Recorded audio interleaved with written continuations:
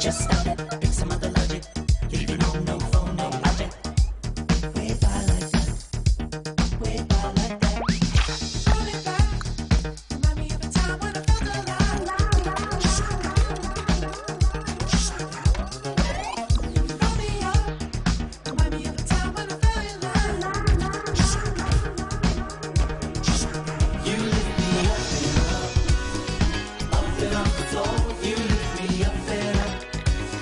Drag you down before.